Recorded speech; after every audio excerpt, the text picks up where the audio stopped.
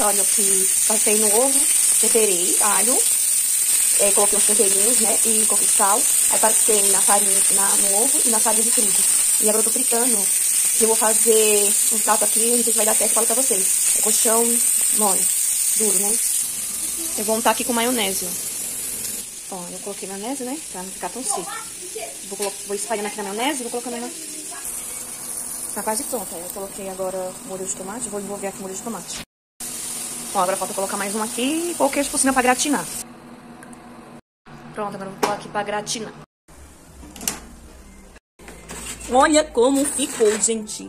Que pena que... Olha aqui. Tá... Montei aqui, né, a mesa pra... Uma saladinha verde. Colocar agora o pratinho. Mistura.